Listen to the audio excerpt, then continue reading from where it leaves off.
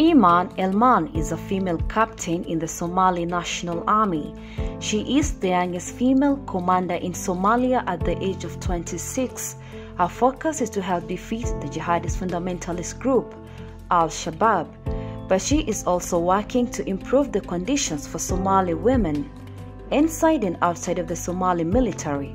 Since joining the army in 2011, Captain Elman has risen to become the most prominent woman in the Somali army. She commands a battalion of 90 men. Our, our job was probably one of the most difficult parts of the military. We'd spend majority of our time seeking or searching for the Al-Shabaab itself.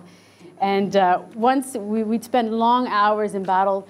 Once we completed a single battle, then we'd end up being deployed to a different location where we'd try to find you know, more Al-Shabaab.